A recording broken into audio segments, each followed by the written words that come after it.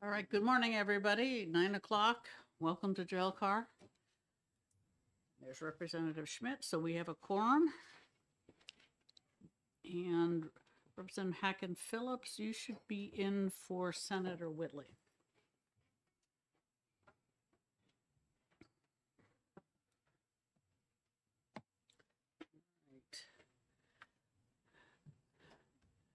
The minutes of the previous meeting. All right, Rep- Senator Ward moves to accept the, the uh, minutes of the previous meeting. Is there a second? Second. Second by Represent, Representative Schmidt. Any corrections, comments? All right, seeing none, those in favor? Aye. Opposed? Okay, there we go. And the consent agenda. Is there anything to be removed from consent? Hearing none, I move the consent calendar. Second. Okay, moved by Representative Schmidt, second by Representative Lind. Any comments, questions? Those in favor? Aye. Opposed? All right.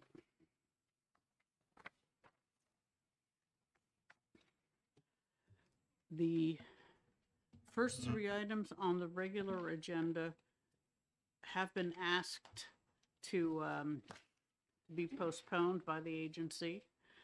Uh, The, the third one, the Board of Home Inspectors needs a waiver as well Um, because of and Mrs. Deadline. I, I apologize, Madam Chair. Um, the first item, 2023-97, that item, they're actually asking to be moved till March because the board does not meet until February 16th. So that one, if it is accepted, would need a waiver as well.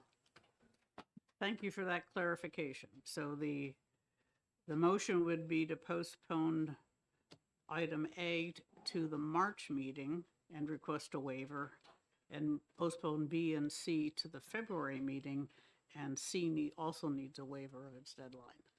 That is my motion. Thank you, Representative Schmidt.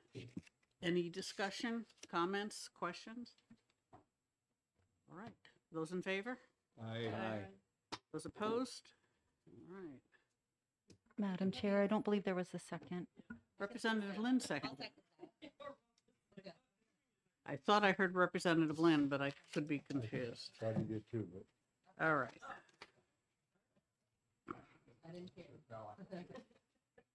yes, you did. All right. Senator Gray, you're sitting in for Senator Wang, who doesn't, isn't here today. All right. All right, Health and Human Services. So this proposal has one sort of minor issue. It's a, a very broad citation and um, think, we think for clarity purposes, it should be a, a more specific citation. But I think that the fix for this is just an oral CA, just to say what citation to change it to. So that's my suggestion. Okay, Uh, good morning, Nicole Valenzola, Rules Coordinator for the Department of Health and Human Services. Uh, yes, that's correct. We, uh, it was a misunderstanding on my part. I had responded and saying, yes, we could make that edit. I didn't submit, uh, I thought it was an edit, not a conditional approval request. So if you will allow that, I will do that. okay. Any questions from the committee? A motion? Um, I can move a conditional approval, um, citing HEW, uh, five oh two oh two, um, in, as noted by the attorneys. Second. Okay. Any, any dis- further, any discussion, questions or comments? Those in favor? Aye. Opposed? Okay. Board of Mental Health Practice.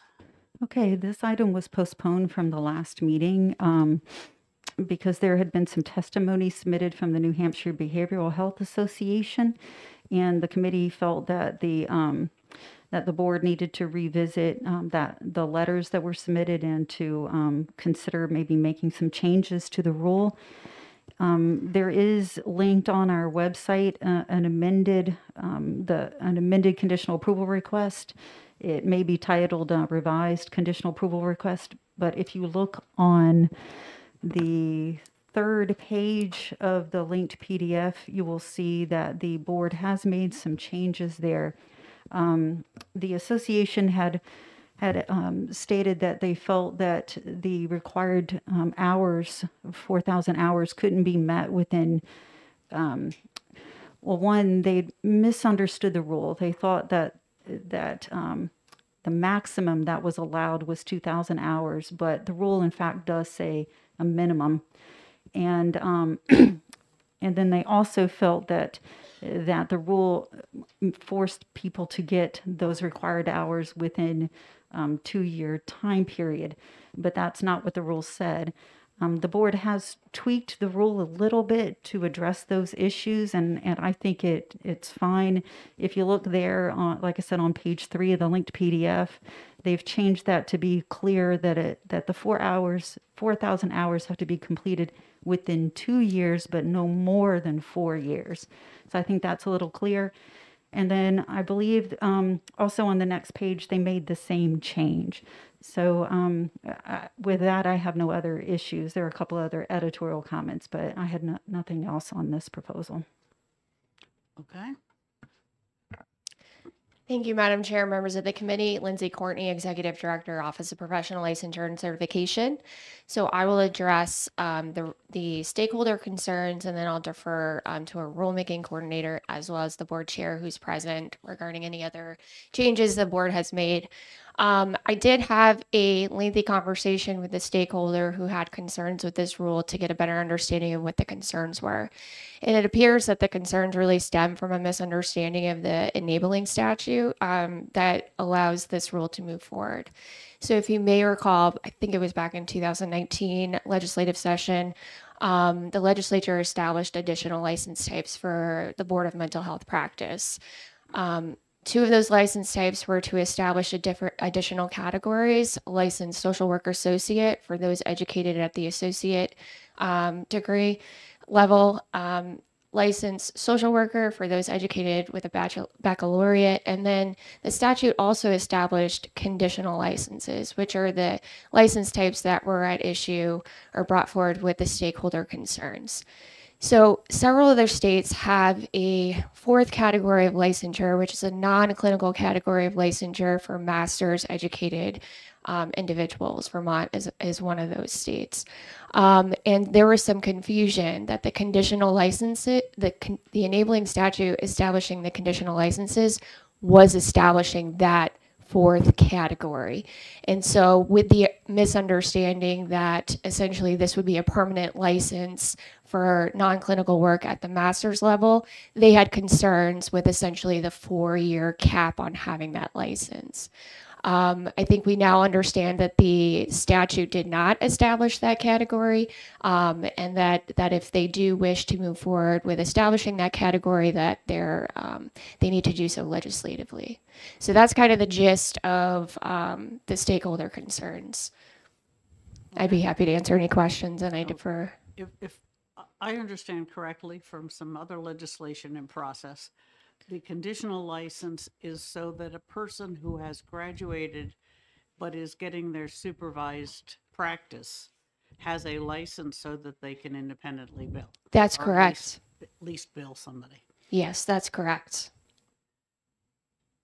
Okay, does anyone else have a question? Thank you. Thank you.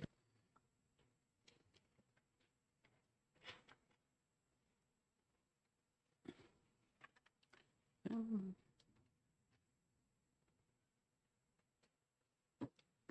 Good morning, Tina Kelly, Rules Coordinator for OPLC. If you have any other questions, I'd be glad to assist. Okay.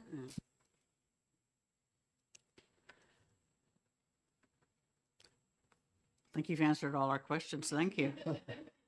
All right, do we have a motion? Move the item. Second.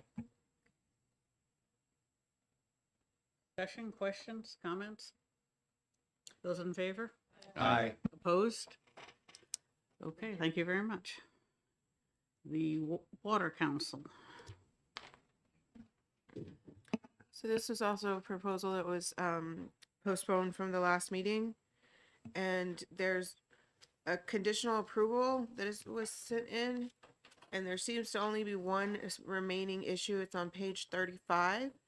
And it's essentially the, the deadlines that the agency is setting do not comply with five forty-one A twenty-nine. And so that's the only issue I have now. Good morning. Good morning. My name is Mark Delafano. I am an Assistant Attorney General. Turn the mic on, please. I'm sorry. Thank you. I'm better than that, generally. Uh, good morning. My name is Mark Delafano. I'm an Assistant Attorney General from the Department of Justice, and I represent the Water Council. Uh, there are actually two issues in the conditional approval that appear to be uh, uh, left in from comments from uh, legislative services. We'll deal with the first one on 33.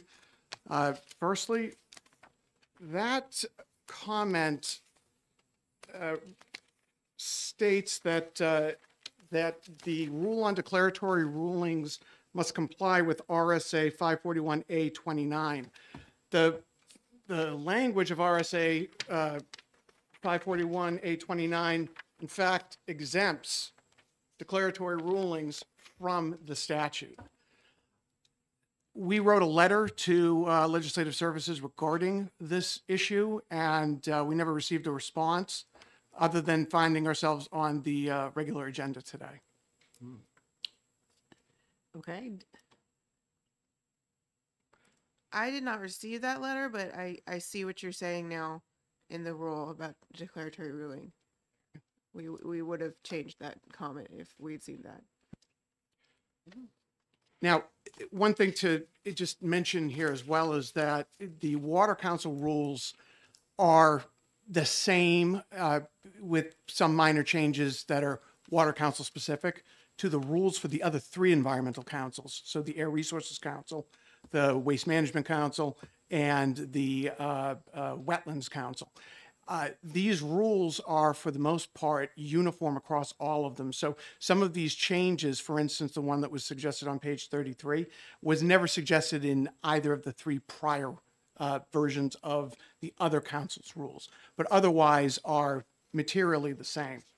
Uh, the other comment that remained is on page uh, 32. Madam Chair, just yes, to, on that one, make sure that uh, you guys do forward a letter to them that they didn't receive, so their records are complete. Yeah, Absolutely. I brought a copy with me today. Appreciate okay, that. so on page thirty-two. On page 32, uh, on item D, and this is uh, EC Water uh, 2107D, uh, we had suggested, um, well, first off, Legislative Services had crossed out the may and asked us to insert shall.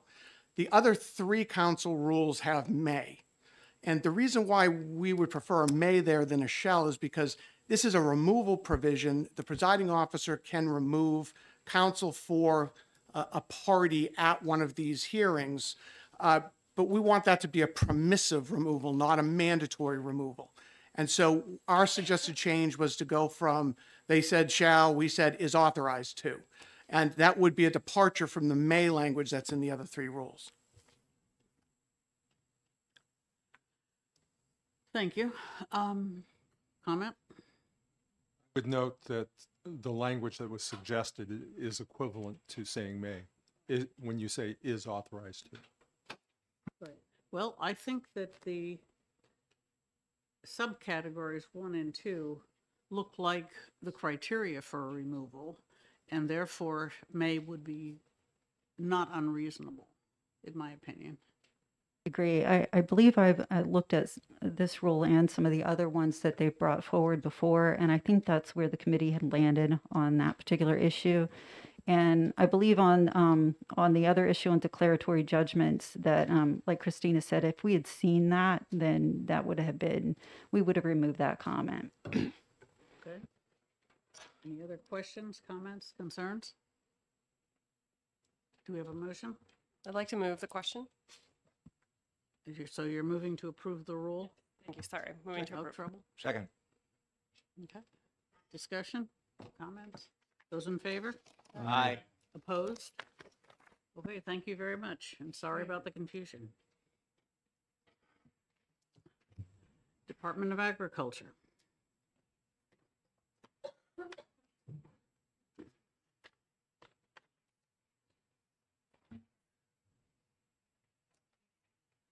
So twenty twenty-three, two forty-three is an agricultural rule on acquisition of agricultural land development rights. And, um, there are still a few, um, issues with the rule. Starting on page two, there's a rule that requires filing an application with the committee and municipality, and then later it needs to be with the agency. And so there's, it just needs to be more consistency there, so it a person knows where they're filing and with who. Um, there's a few places where the the wording is just unclear. It's just unclear as written and should be changed. That's on page four and five and on page twelve. Um, page six, there's deadlines that don't comply with um, 541A 29. Um, and on page eight, there's some uh, subjective language that we would like changed um, because subjective lang- language is not good for orals. Commissioner? Yeah, this could have been fixed probably with a conditional approval. So I'm sorry? I said this, these, these issues could have been fixed with a conditional approval. Okay, thank you. Uh, Good morning. This is Patricia Benner for, um, h- I'm the legislative coordinator for the Department of Agriculture. Um, And I apologize for uh, not having the conditional approval um, in time. Um, I think there, wa- there wasn't much turnaround from receiving committee's uh, comments, but we are working on correcting those issues and clarifying some of the um, um, ambiguity in the new rule. Um, you- you Should could we ask for- postpone dealing with this until you have the, had the opportunity to complete it? Well, thank you. And um, for the record, Shawn Jasper, Commissioner of the Department. And um, I think we were a little unclear where we were supposed to go with these changes. We have made suggested changes, um, but didn't appear that there was any place for us to submit them in, in time. So we have the language, but um, so I, been a long time since I sat on the committee and things have changed and we really weren't expecting this because we were, it was a readoption and obviously these things were in the rules that had uh, previously been in place. But Okay. uh, I don't know if you Um, want to discuss what we have suggested or not.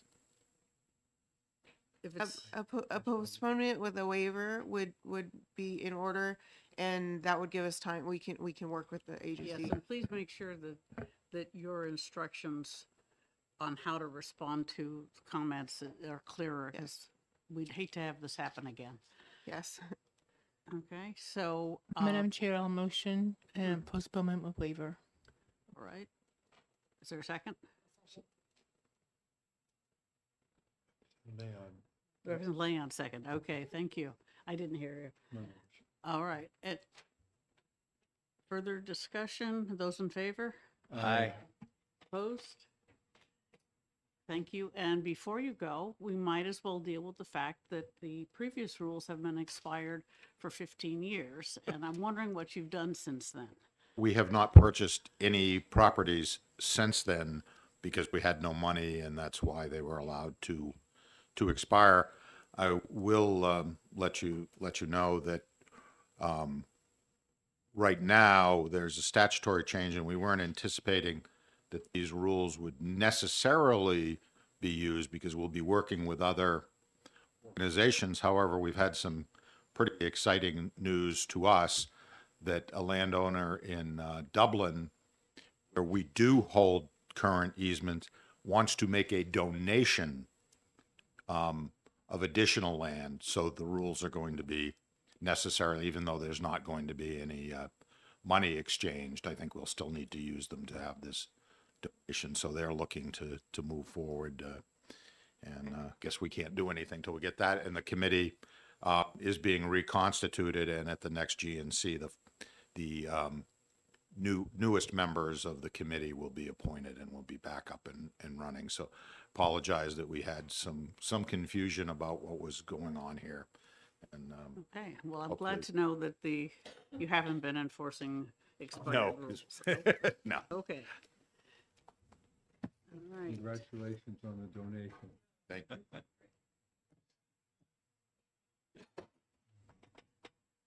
All right. Good morning, Senator Gray. You're in for Senator Innis. Okay, Fish and Game. So this rule is twenty twenty-three two forty-eight, licenses and permits. And I actually, the, the agency did a great job at, um, responding to my comments. So there's only one issue, which I think is solved. Cause it's a typo on the, there's, there's a typo on the revision note of one of the forms. And I think you guys fixed that, right? So then I have no more, no more comments. Okay. Good morning. I'm Marty Mobley. I'm the lead coordinator for Fish and Game. And with me today, Hi, good morning. My name is Jessica Wheelahan. I'm the licensing supervisor for Fish and Game. we recently had a new um, website uh, instituted, and so we put all of our licensing forms online. So the vast majority of the changes we're doing is to add the link to the online licenses.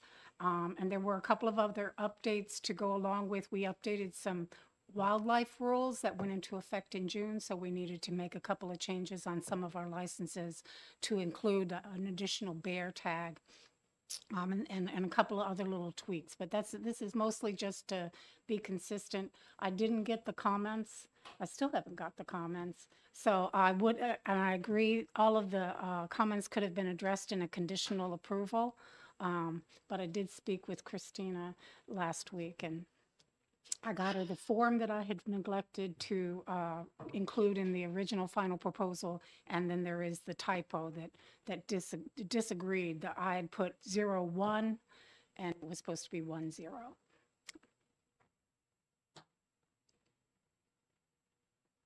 There a problem getting messages in and out of your office? I don't know, but it seems like there may be, so we're gonna go ahead and go back and look at, into that.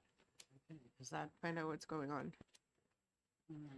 So if I understand you correctly, the, you finally received the comments and are willing to, con- to make a conditional approval request incorporating those comments? Is that Can I correct? make a conditional approval request? I don't think a conditional, because the only issue is on a form, and so the form just needs to be ed- edited. I think, no, I think it's, the text needs to be edited. The form, I think, is correct. Or, I don't know. I, I'd have to look, on- I'd have to look. If the text needs to be edited, to then it could be a conditional approval. Yeah. I think, I think, because I think it's the text that says zero one, it's the revised. Yeah, and, co- and the Senator form Gray? says Madam 10. Chair, is a motion to approve uh, pending the uh, incorporation of the comments appropriate at this time. I believe it would be. I move. There a the item second? Pending incorporation. Any further comments or questions from the committee? Okay, those in favor? Aye. Opposed? All right, thank you very much. Thank you. And Thank you. please, uh, hope we can get that communication issue straightened out. All right.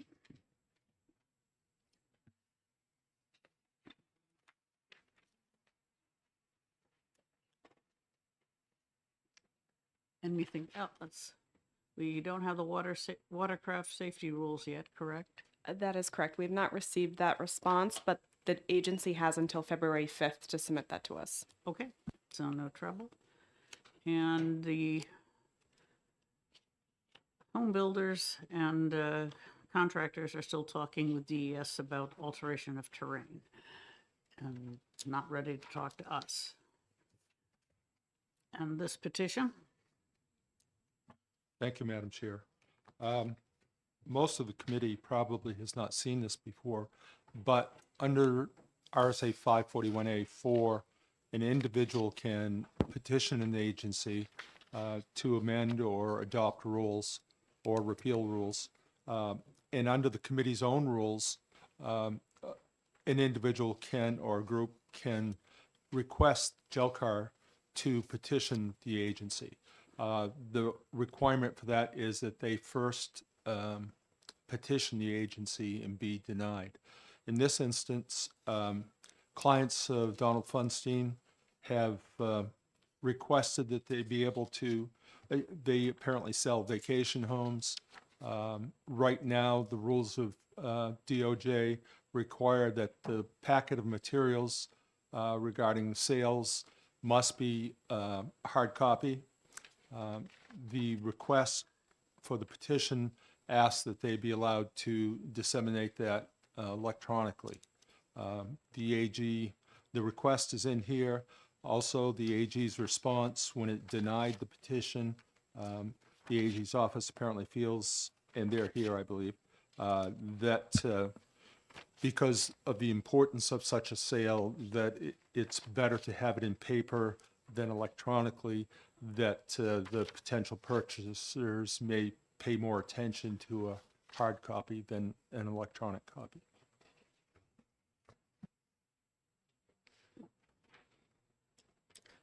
Is the agency here, is AG here to talk to us? Yes, please, We'd like to hear your side of it.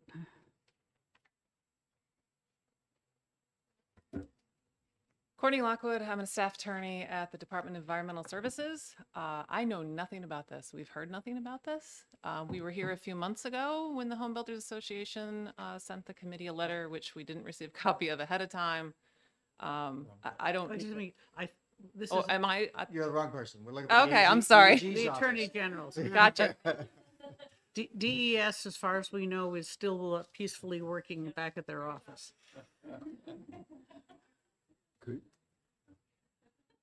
Madam Chairman, my name is J.R. Davis. I was, hit the button.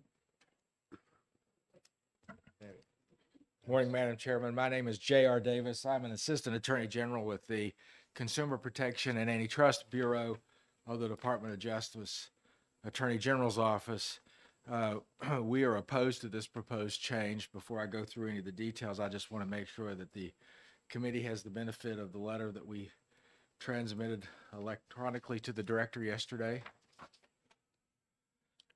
I Um, believe that's in our packet, the last one, uh, page of our packet. The Yes, it last is. Three pages of our packet. I- In a, the thicker packet contains both the request uh, from Mr. Funstein and uh, the AG's response. In a separate attachment are the current uh, JUS rules that uh, the request relates to. And I'm at the preference of the committee, whether you want us to go explain the basis for our objection to the change of our longstanding rule or to respond uh, once the petitioner's attorney, who I believe is present today, makes a presentation. I leave it totally up to the committee as to who goes first. Um, I think the petitioner, oh, you- the petitioner's point is, is pretty clear.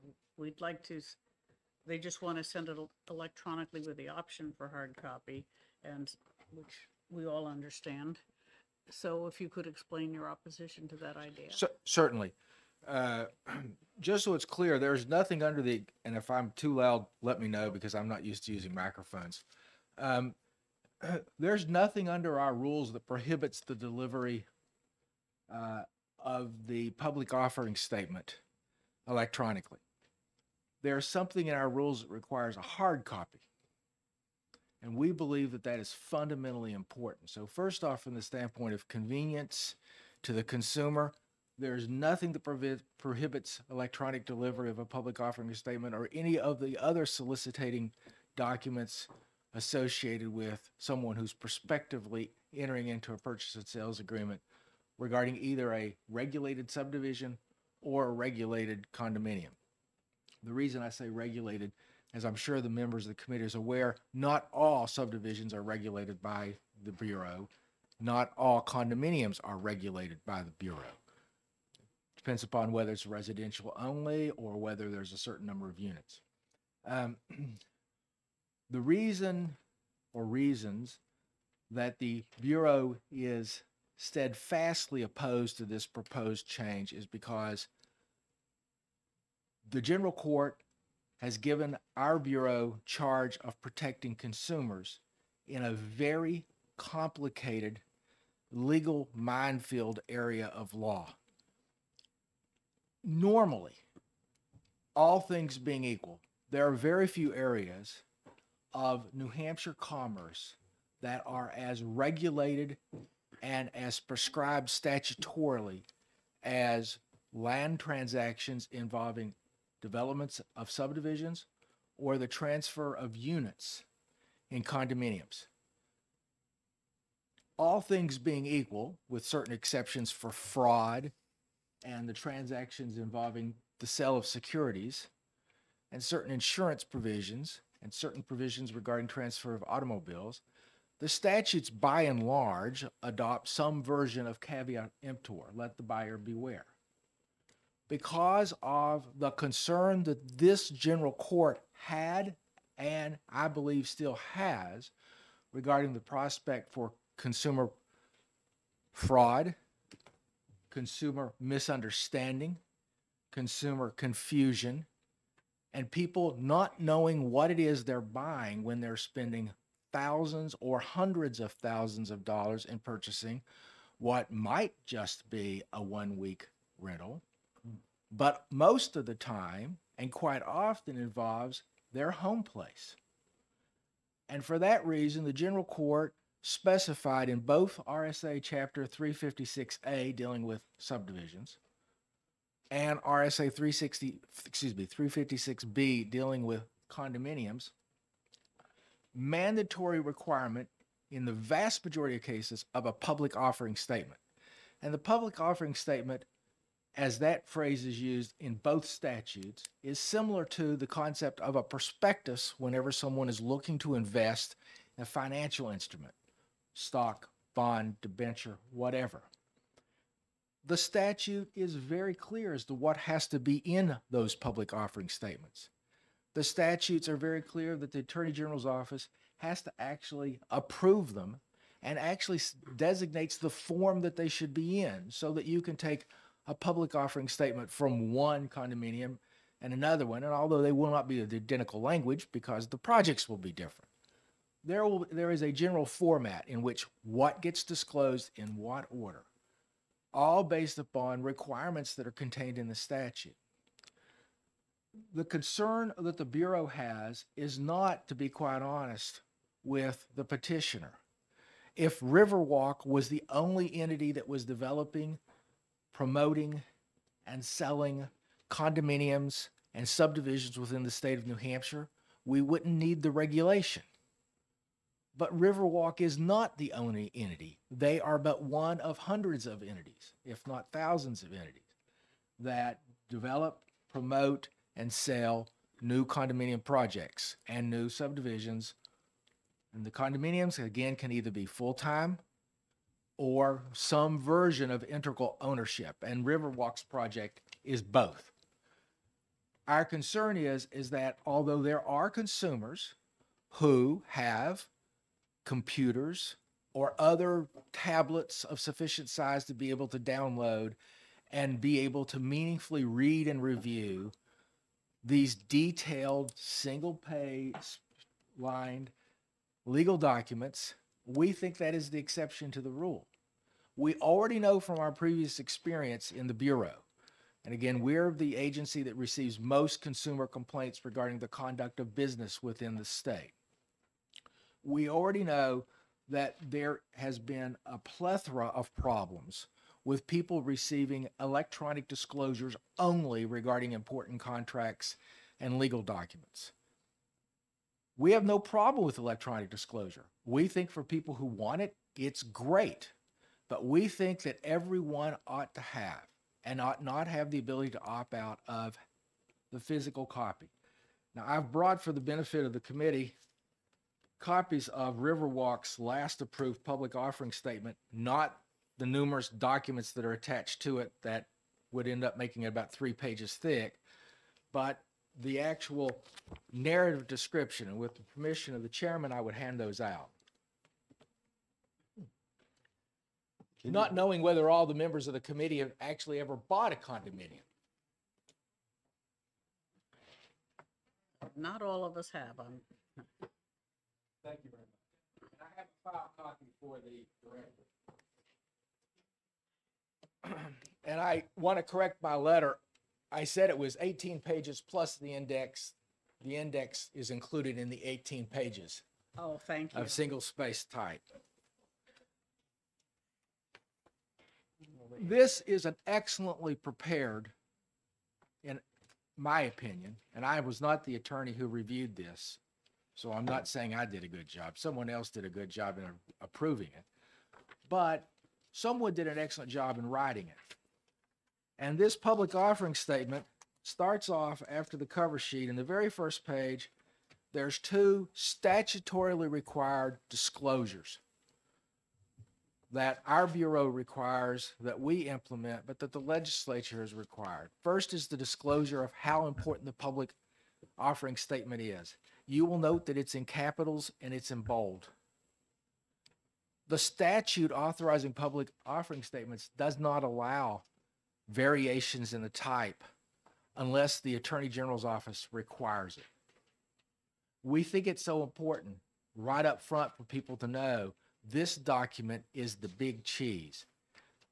You better read this as carefully, if not more carefully, than the purchase and sales agreement, because most of the time with the purchase and sales agreement, it's what's the price, when's the closing, and what are the add-ons. And then a whole lot of other stuff that can become important, but most of the time aren't. But everything involving a condominium is complicated. It is a pickup stick, for those of you who are old enough to remember that game, of legal rights and are very complicated. And no two condominiums are created equally or the same. The actual operation of a condominium varies greatly and significantly from one condominium project to the, to the other between who's responsible for what. What are the common areas? Those are the areas that are owned jointly. What are the limited common areas? Who's responsible for maintaining them? What things can be done on them? The purpose of the disclosure statement is so that people can understand for the particular condominium they're looking at purchasing and spending thousands of dollars on, if not hundreds of thousands of dollars, what they're getting. Our concern is, is that from our experience already, particularly in automobile sales and other items where there's often sales that have been moving towards electronic primary or often electronic only transmission, is that it is far too easy for even the well-intending consumer to receive an electronic bundle that's going to have these 18 pages plus the hundreds of pages of attachments on their cell phone. And I've seen this happen when I've been at automobile dealers buying cars myself or when I in my prior prior private practice represented automobile dealers see people reading a 10 or 12 page very detailed retail installment contract or attempting to read it by scrolling. and invariably, after they get the name and they check the price, the next thing they do is where is the, the place where I say I've signed it and I initial it. In my private practice, and I was a long term attorney, I have difficulty seeing Justice Lynn without a black robe on, so uh, I, I, it took me a while to be realizing that I could actually sit down. Um, but but I've seen this in my own private practice where people bought things and they were told, "Hey, yeah, that's the legal mumbo jumbo. It's not important." and they sign it. And once they've signed it electronically, once they've said yes, there is a five-day right of rescission by statute for condominiums and regulated land sales. But the five-day right of rescission is only meaningful if you know you need to look into what it is you said yes to. And if you've been convinced either by your own, unfortunately, laziness or busyness, or you don't have good access to a computer like the transcriptionist has, to where you can actually read it and come back to it, then we're making a mockery of protecting consumers. This will never be a concern with Riverwalk. If, as I said earlier, and I meant it, if the people who operate Riverwalk or if everyone in the condominium industry was of the same caliber, we wouldn't need regulation. But I can tell you, we know that that's just not true. We receive complaints regularly regarding concerns regarding what's going on in condominium units. I, know the board, the, the legislature is aware there's several bills right now, one involving the possibility of adopting uh, establishing a board to deal with condominium disputes between unit owners and uh, the boards. We just think it is a mistake if we're going to be serious about protecting people in a very detailed, complicated legal transaction by encouraging them or allowing them to do electronic only. There's nothing that prevents this developer or any other developer from making electronic disclosure of everything so long as the consumer still gets a hard copy of their purchase and sales agreement and of their public offering statement. Even the public offering statement says how important it is to read it all the way through. Suggests making sure you understand the attachments and recommends talking to an attorney because these are hundreds of thousands of dollars of transactions per consumer typically. And once you've said yes, unless you realize there's a problem within the five day rescission period, you're stuck whether you understood or not. So if our Bureau is going to actually live up to its name, consumer protection, if we're going to follow the mandate that the legislature gave us in both statute to enforce and administer for the protection of the consumers, these statutes, we believe that there still needs to be in hand delivery. We don't care if it's by mail, we don't care how it is. Now, some people will say, well, that takes more time. Real estate transactions seldom close that quickly. So it's not that much more time for delivery. It amazes me that there is this thing called UPS that has overnight delivery and it works very well. I know I've been using it for 30 plus years in my practice. Most, but not all, of these transactions involve some face time between with the consumer. So we just don't get how it will be so burdensome on either consumers or developers to continue to require what our regulations have required since the very first passage of both of these statutes. If committee members have any questions, I would be glad to attempt to answer them. And if we need a translator, perhaps we can get someone to help me because I'm from Southwest New Hampshire. Senator Lang, you had a question? Yeah, just a couple of questions. So is, is there an, a specific statute that says it has to be hard copy or is that just administrative rules? That's just in our regulations. The statute merely says it has to be delivered. When both statutes were written, there was no such thing as electronic delivery unless you were the government um, or very wealthy corporations. Follow up?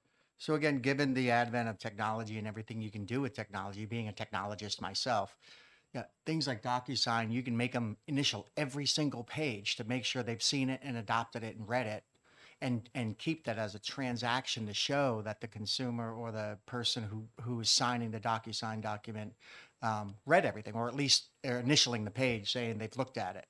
Why would that not, actually? I, I think that would probably be a better consumer protection because you mail somebody a document, you have no no idea if it went straight in a trash can or if they actually looked at it. Where with an electronic means, you can actually require that every page gets an initial, and that both both parties know that they initialed it. Um, wouldn't that be a better consumer protection than just mailing and firing and forgetting? If I was confident, I even thought it was more likely than not that the mere fact that someone has to push the initial button on a DocuSign document, on whether it's one page or every page, I would say yes. I know from my experience as a private attorney, and I know based upon the experience being at the Bureau and the complaints received, that unfortunately a lot of people stop reading after about the first or second page when they're doing electronically. Technologists, people are used to using computers, people who have full size screens, may well be a horse of a different color, as they said in The Wizard of Oz. We have to regulate, not because we have no ability to distinguish between the honorable, intelligent, scrupulous developer like Riverwalk and others. We similarly do not have the ability to write regulations for sophisticated, savvy consumers who are used to using computers for legal documents and are used to reviewing legal documents, as opposed to those who I can't be bothered. Now, someone could say, well, what about that? We can't help people who won't help themselves. We shouldn't create a system where it's easy for people to not know what they're doing. And buying and selling a condominium, most importantly in this case, buying a condominium in a new development, because the, this all has to do with new developments, is not something that most people are familiar with, and it is fraught with legal problems and financial problems. I know this because I used to do it in private practice. I know this because since I've been at the Bureau, because of my previous experience, I've been doing a lot of condominium work. And unfortunately, a lot of it's not just been regulation, approval of new condominiums. A lot of it has been workouts and problems with condominiums that have either gone south or are going south or are having major disputes with the condominium association because what was promised, at least verbally, doesn't appear to be what the reality is. That's why we think a hard copy is the best way to go. For you, unnecessary. But I, I don't know how we could come up with words or regulation that would let us distinguish between the informed consumer and the savvy consumer. A fundamental principle of consumer protection work, both on a state level and a federal level, is that we look at the typical and average consumer in adopting regulations. For that reason, we think that requiring the hard copy is important. No one has to use it. Follow- Follow-up? So again, I, I guess my question comes around, right now, I'm assuming if they send it by mail, there's some, all they do is they get a return receipt because the person signed for it. But you have no, no idea whether they actually opened it or threw it in the trash can. None. There's no consumer protection around that. Just the, the, the Riverwalk in this case would just say, oh no, we sent it, here's my verification. And that was it. It would just be the green return from the, from the post office, correct? The, the process is that the Bureau will never know unless there's a dispute. The, con- the, the developer is required to keep a copy of the signed acknowledgement. The signed Bureau's acknowledgement Would be regulations, that green receipt from the post office? no, the actual, the, ac- the public offering statement actually includes an acknowledgement of receipt. And, and that's included on, on all, um, public offering statements. Now, some, some developers do, ha- do the initial on the bottom of the page things. Uh, we don't require that. We take people at their word. If they, were- if they said they got it, they got it. We can't make them read it. We can encourage it. Make sure it says it on the first page and it says it more than one place in it that it should be read. All the information that we have regarding condominiums on our website, and we have various places for informed consumers to look and see, you know, what you should look into, things to be aware of. We always say, read the public offering statement if you do nothing else. Um, but we can't make anyone do that. Anyone else have a question? Concern? Representative Leon and then Representative Schmidt. Um, thank you, Madam Chair, and thank you for coming with all this knowledge of this. Um, one of my other questions and concerns is around what's going to happen with somebody um, if they pass away and it's only on their computer that nobody can access, and what their heirs will do with the paper copy. I mean, obviously, we can't say that the person will file it in a real file cabinet instead of the circular file, but it gives a. I would think that it would that would give a greater likelihood that there will be a copy available to those who survive the one who's contracted. I'm somewhat of a Neanderthal on this point, so I will readily acknowledge that if I was receiving something electronically only, and if I was receiving it on my personal device as opposed to my work device, where I have a meaningful file system, even if it was still on the device, it would probably be not particularly readily accessible after about three months, more or less six months or a year. But I may be behind the learning curve on that because I still hand my cell phone to my children whenever I want to learn how to do something new. Representative Schmidt, you had a, had a question? Well, it's a small matter, but you're not only being recorded, you're being videotaped and you're operating under false pretenses because the si- sign in front of you ref- references your, your colleague who was before us about half an hour. He's smarter and better looking than I am too. I won't comment on either one of those, Did but you you, have a question, Representative no, the question was whether he would like to remove that since he's being recorded. Ah. Uh, We, and he answered it. Any other questions? Senator Gray? Um, I, I think we have a case here where we've got the statute and we're kind of being asked to do committee work, okay? Uh, on the thing. What, what we need to happen is for our, our staff uh, to tell us where we are and if a legislative fix is needed, you know, have the department work with the legislature of their choice to get this done. So I, It, it seems to me that the, it's just a matter of interpretation of delivery of documents. And the agency has interpreted it in one particular way and some stakeholder disagrees with that interpretation. That's, it's. Madam Chairman, if I could just briefly interject on that point. Although we do believe the committee should reject this petition and deny it, we have suggested in our letter that the, if, if the committee is thinking that it might move favorably on the petition, we have requested pursuant to the Administrative Procedures Act in our letter, that this committee consider making a referral to the Commerce Committee, which normally handles condominium matters.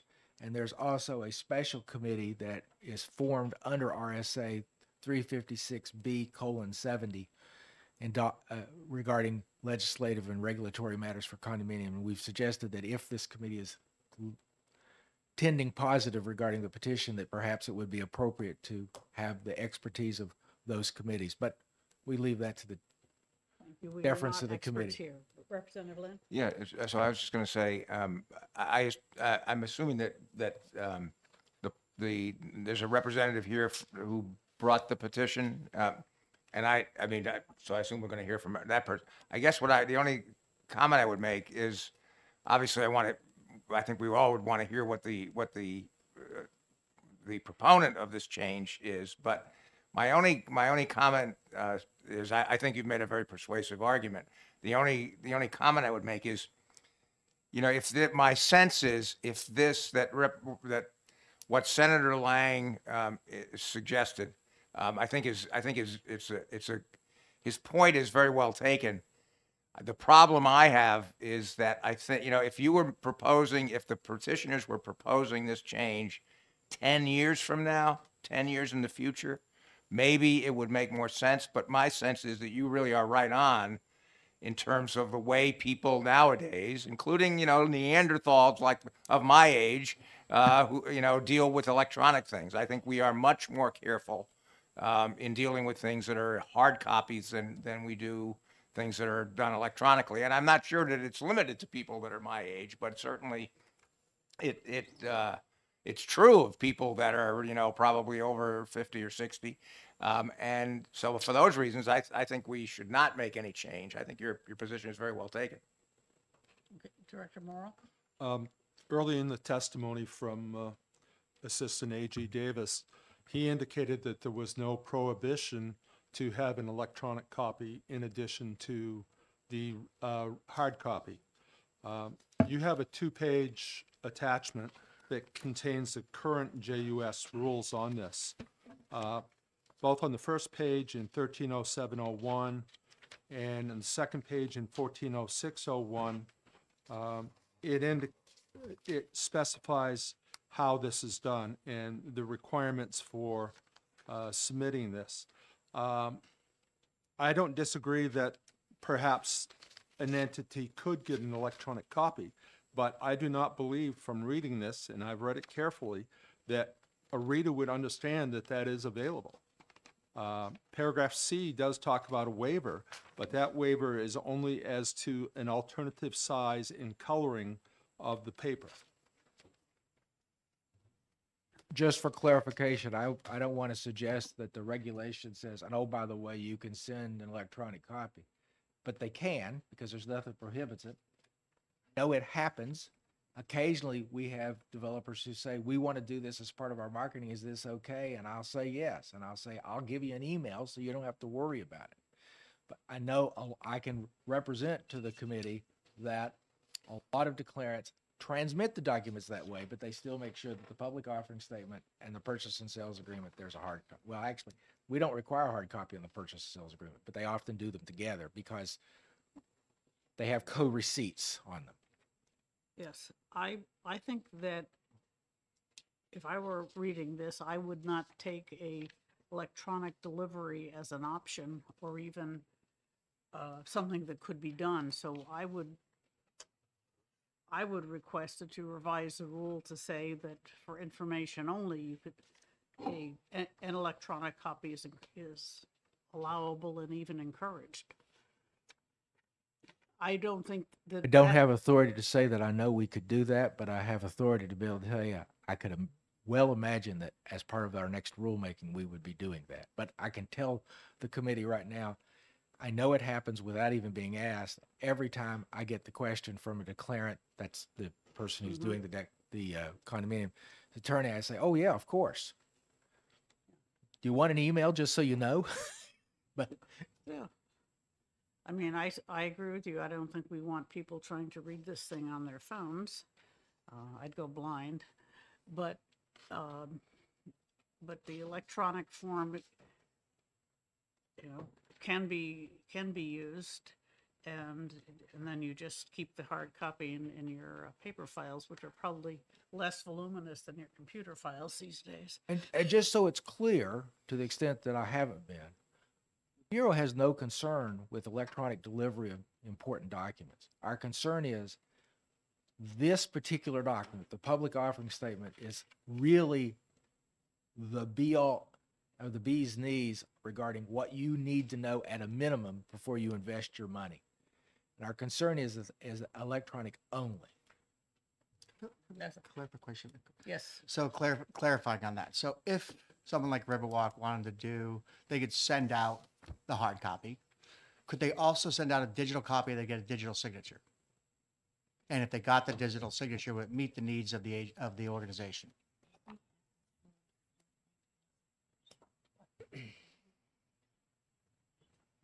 I think that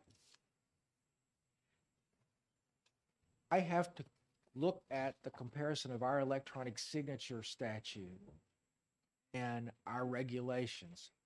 I can't answer the question because I'm not sure how they coalesce right now. We would have no problem with conceptually, unless it's in our regs that I'm not aware of, and I don't think it is. We don't have a problem with electronic signatures purchase and sales agreements on condominium uh, purchases are often done electronically.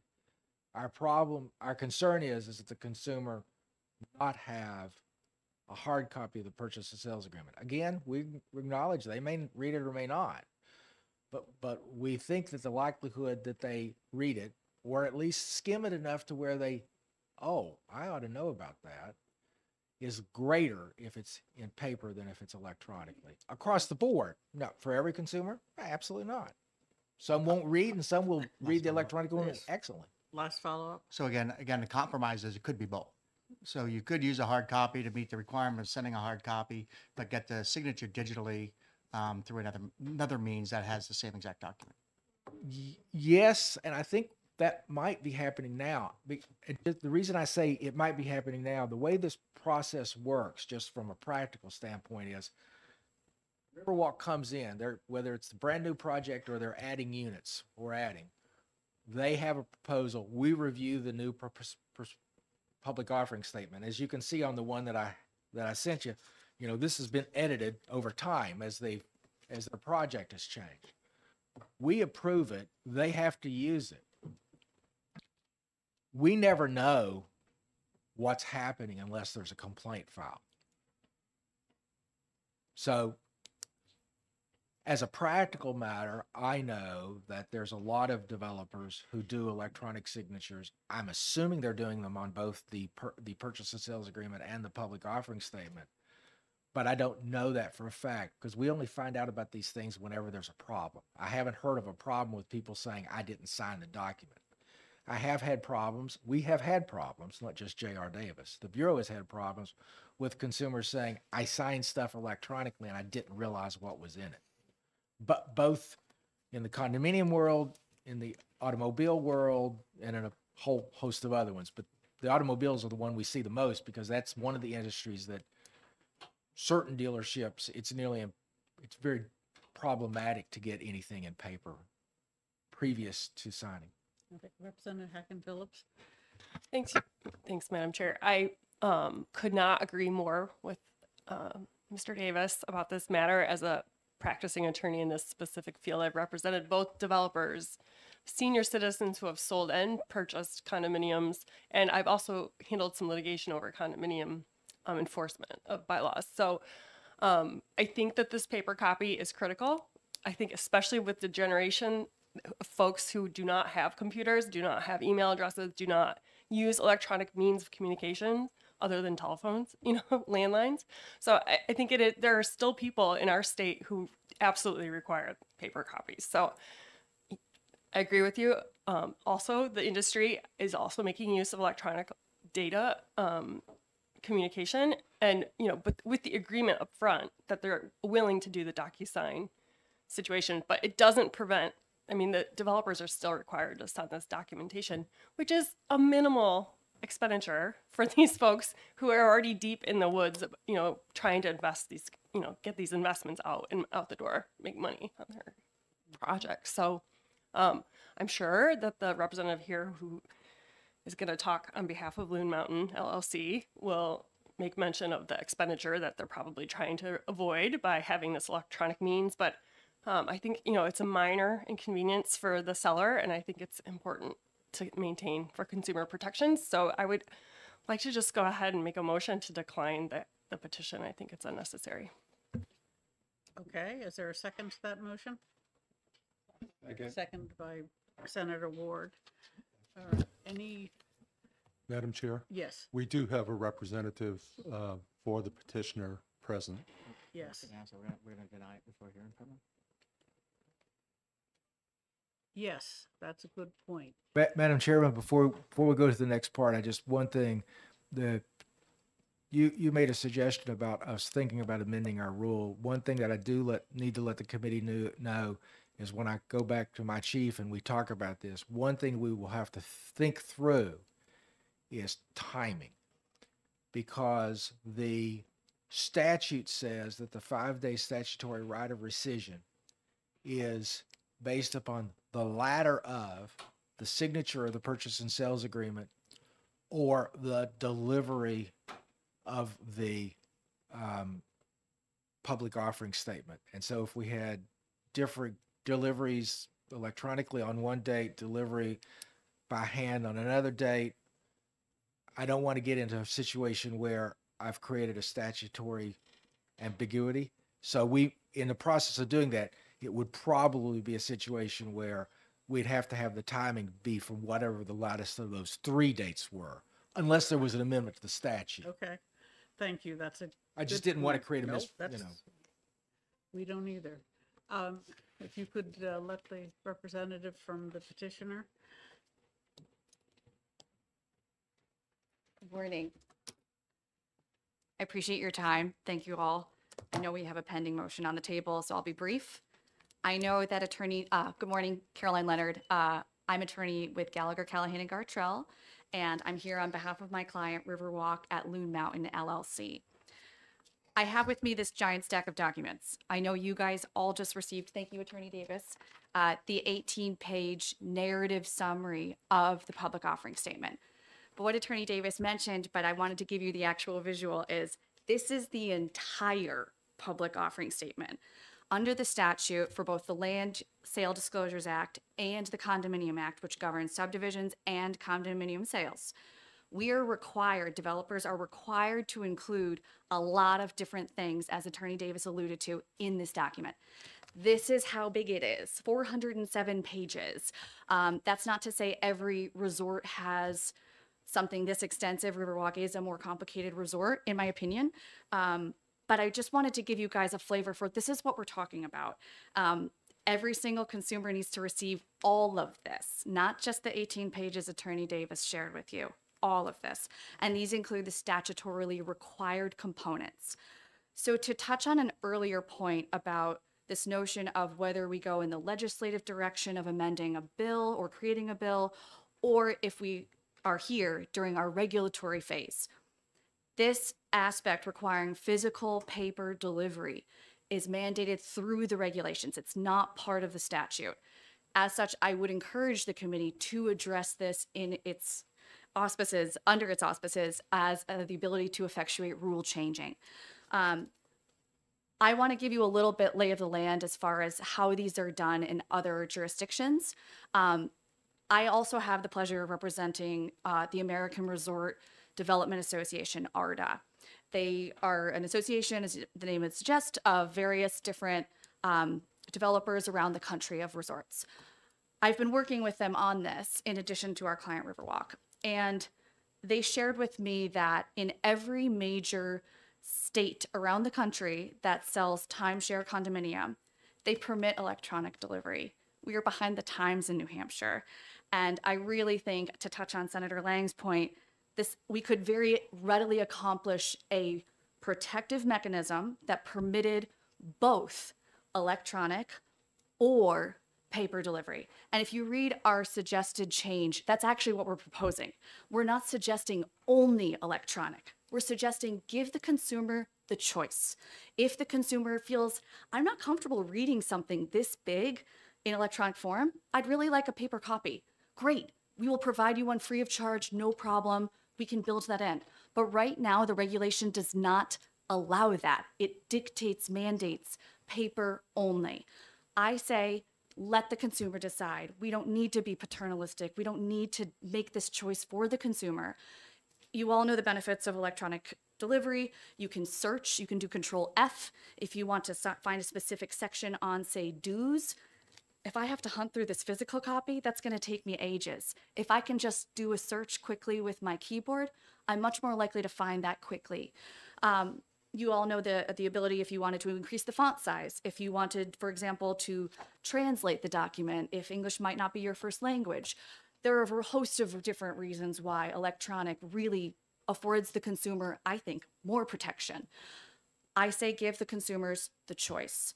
Um, our revised language, we hope, strikes this balance between efficiency, better protection, and an ability to, if a consumer wants it, they can still have paper. We're not disputing that. If somebody wants paper, they can have it.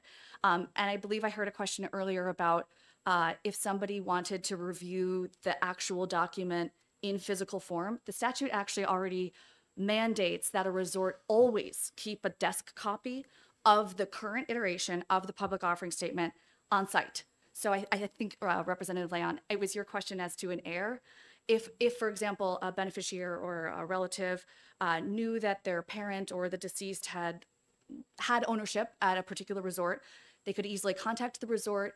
And again, I know I can only speak to my developer clients, but um, we are very happy to always accommodate such a request. Um, we can send it electronically, but we always, by, by law, we are required to keep a copy of this document at all times at the front desk. So if that helps alleviate concerns, I wanted to make sure we hit that as well.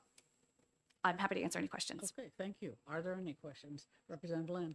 I wonder if you could tell us, uh, you said that that, the, the, the, the- for this condominium, it's 400 pages or something. Yes. Could you give us some idea of, uh, I assume you've represented other uh, condominium developers, of sort of the average, is that what the average uh, documentation is? Your Honor, I'm going, I'm going to apologize for calling you Your Honor. I'm still going to tab it.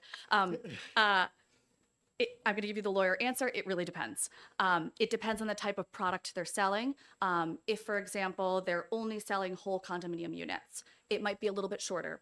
If, for example, like this resort, they're selling interval interests, meaning somebody could own for a week, somebody could own for a few months, uh, that requires additional paperwork because you have to provide each type of ownership's corresponding paperwork. That's a very long answer to your question. Thank you. Other questions? Okay. Thank you for the information. Appreciate it. So we have a motion to deny the petition, the, the request for a petition. Is any further comments, questions, concerns? Representative Layon? Um, thank you, Madam Chairman. I think that this is a more complex issue, and I'm, I'm thinking it may make sense to deny the petition and go through the legislative process. And I'm sorry if I mi- missed any comments to the, to the similar when I needed to run out for a moment. Uh, Yes, I would believe if Representative Hakken-Phillips wishes to amend her, um, her motion to include a reference to the legislature, I would certainly f- hope that we could accept that. If the committee is feeling that way, that's fine with me. Sec- I'll I'll second the amended motion. Okay. Any further comments? Okay, th- tho- those in favor of denying the request for petition and referring it to the legislature, say aye. Aye. Aye. Those opposed? Aye. Thank you. Okay, we will not pur- pursue the petition at this point. We will uh, suggest that the Committee on Condominium Development or the Commerce Committee deal with, be, this be brought to the attention of those two committees.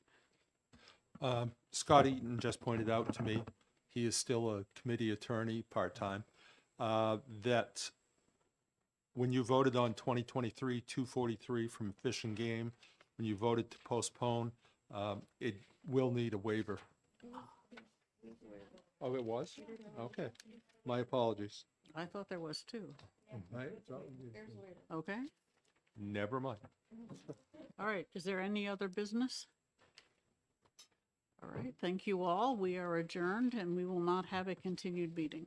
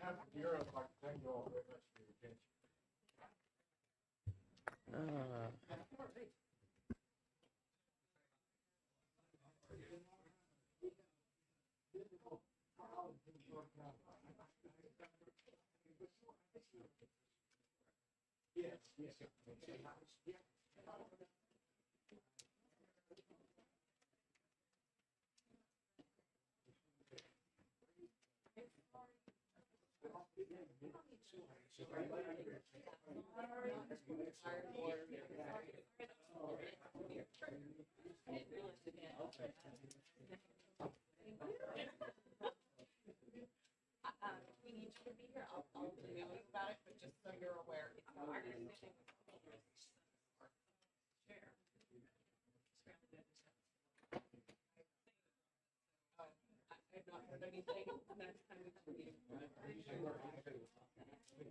Thank you.